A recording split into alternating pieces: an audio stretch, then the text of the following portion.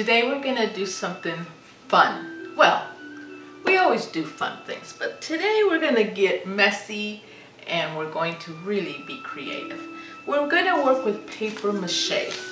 And if you've never done paper mache, all it is is basically using a glue recipe with a lot of newspaper.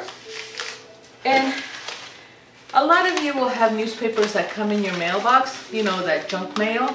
Start saving those because this is what you're gonna need. And if you don't have newspaper, you can use other kinds of papers like paper bags on a lunch from a lunch bag or just any kind of material that's paper.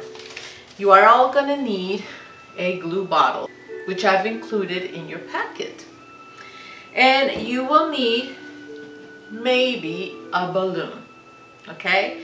So either a balloon or a lunch bag, a lunch paper bag. Using the paper mache method, we are going to make masks. And masks have been around for centuries. Masks have been associated with ceremonies that have social and religious significance. So a lot of times for certain events like funerals, uh, you would see people wearing masks or even when they were trying to reach spiritual um, guidance or ancestors.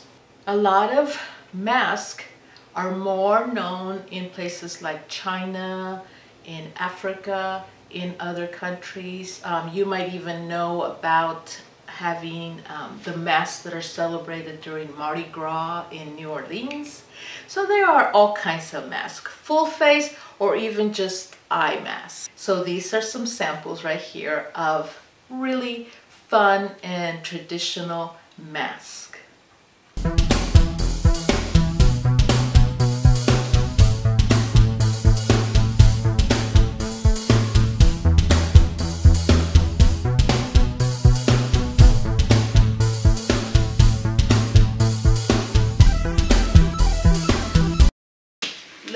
Something, um, a piece of paper or something on your table because this is a messy process.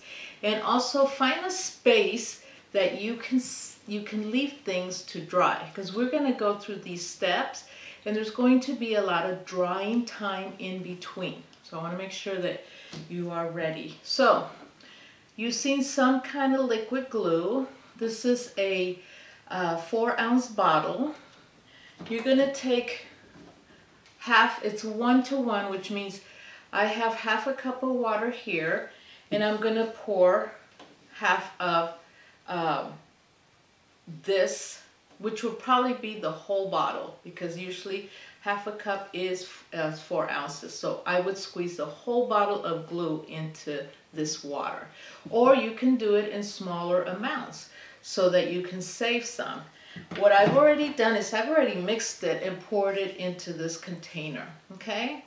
And I still have a little bit left over from last time, but I'll just keep adding. So it looks, um, this is going to be your paper mache liquid. So I just have it in a container because if I need to stop working, I want to be able to close it and keep it safe. You're going to get yourself a balloon um, again, if you don't have a balloon, if you have some paper bags, we're going to try both methods so you can see how both methods work. But let's start with a balloon. So you're going to grab paper and cut it up into little strips. And some of you may have done this in kindergarten or in elementary school where you did paper mache. And, you know, you remember the steps where you just have all these little strips of paper cut up ahead of time. But here's what we're going to do. We're going to, I'm going to show you um, the best method of doing paper mache. And that is that we're going to put strips in one direction. Then we're going to go in the opposite because we want to build a nice strong foundation. Now, because we're only making a mask, we're not going to cover the whole balloon, okay? We're only going to cover the front of the balloon whichever the front is, whatever you want to pick. Now, I, as you see, I have my balloon. Um, it's on. It's sitting in a cup because obviously if I put it down, it's going to wobble. And I kind of just taped it to a, a regular little cup here so it holds. I'm going to show you first the balloon method and then we'll talk about the paper, uh, the paper bag method. So once I have my solution, I'm going to start with one strip. Um, let's see here. I'm going to make this the front.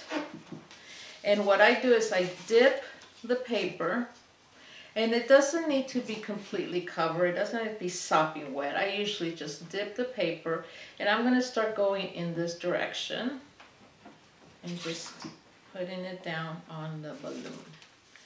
We'll do one, one step at a time. There we go.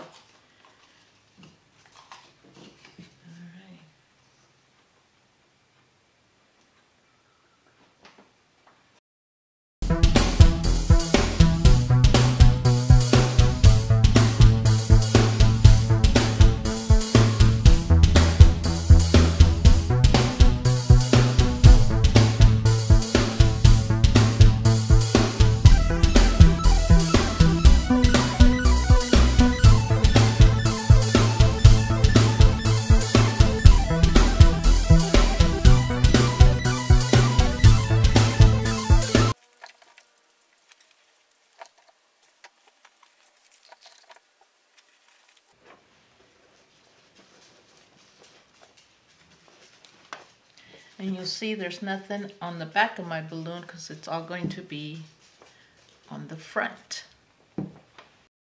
Okay, so I put a lot of newspaper on half of my balloon. I'm going to set it here to dry so that I can do, uh, I can show you the, the other method. So in case you can't get a balloon, if you can get a paper bag, this works too.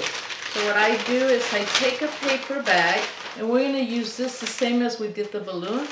I'm just gonna fill it up with plastic bags. And it, don't worry about it because we're gonna take the bags out later. But the paper bags is sort of our, um, it's called, the word is armature. When we put something together and we need a shape, we need to form a shape inside either you can use newspaper inside. So let me, I have some newspaper here. Oh, but I need that. So I have some newspaper. I can stick it in the paper bag or plastic bags. And this time, so you see this is going to shape, this is going to be the shape of our mask, this front part.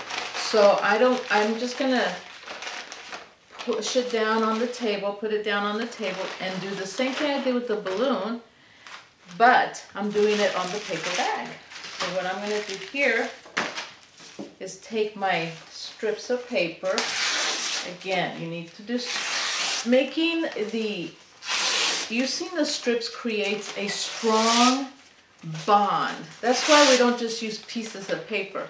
The strips kind of lock up together and create a really strong bond for our paper mache. So when I use the paper strips. I'll put them inside my liquid again. And I'm going to go ahead and start in one direction like I did with the balloon. Same thing. I'm going to go this way and then this way.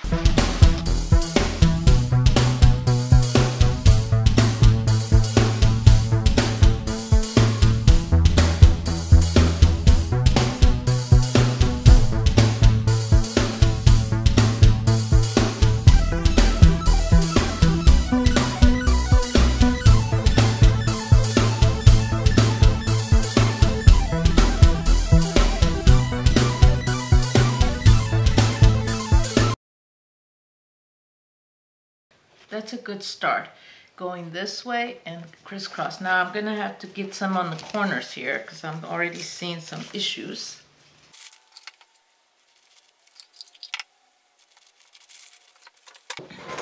And then we're gonna let this one dry.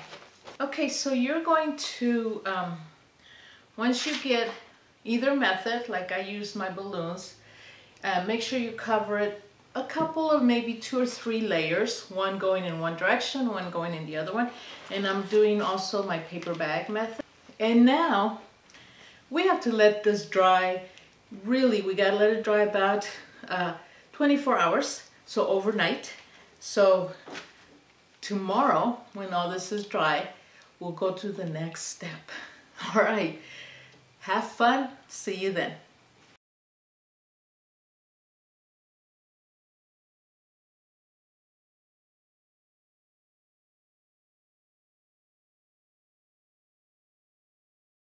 Okay, so we're back. We have let the mask dry overnight.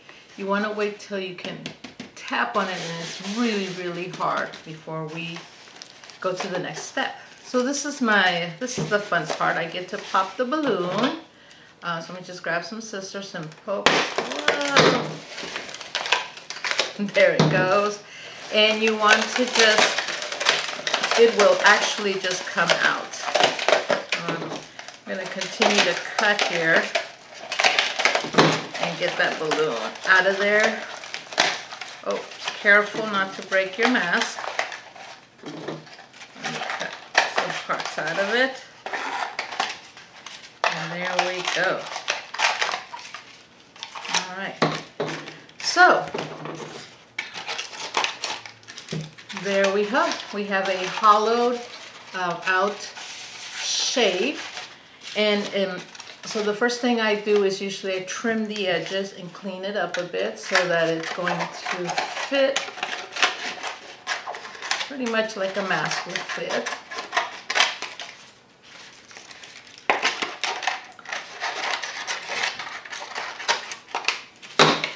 All right, so there we have the base of our mask. Now the same thing with the paper when we did the the bag, you remember that? The first thing is I go ahead and take out all the stuffing, just like I did the balloon. And it's hard enough so that nothing's going to hurt it. And then I cut the back of it off. Clean up, but here's our second mask. Now, a couple of things on your mask that you're welcome to do before we paint them is you are welcome to cut holes for the eyes if you want to cut out holes.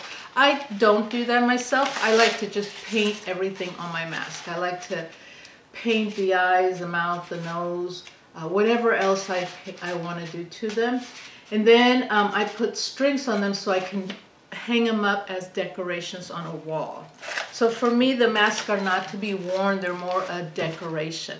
But if you want to have an opening with your uh, eyes would be, that's fine. And then you can decorate around them. So for painting these masks, I really suggest using acrylic paints. Those are the best kind because you have thick paint that will cover all the newspaper. So that's the best way to start with these masks. And I'm gonna kind of go through the process as I paint my mask. A couple of things I'm gonna suggest. They sell these really inexpensive even at the dollar store. Um, these are really great for painting large areas. But if you don't have this, I just take a sponge and a sponge works really good. We want to cover the mask with a wash. And a wash is just one color that's going to completely cover the newspaper. And then once that's dry, then we can start adding fun features. We'll add the eyes, the mouth, um, all the things that make our mask what we want it to be. And again, class, you don't have to make this a person. Um, you can make masks that look like animals. You can make them look like creatures, anything you want. This is a fun mask. I went ahead and did a two different washes just to get started. One that's all white and one that I had a layer of black and then um, sort of gray streaks. And I don't recommend doing it all black because then you're going to have to, um, in order to get your eyes and everything, you can only use white because really nothing's going to show up against the black. But I wanted to experiment with this gray idea. But now I have to let this stage dry again for quite a few hours so that every so that the paint is completely dried and ready to continue. I had a lot of fun doing this. I hope you will too.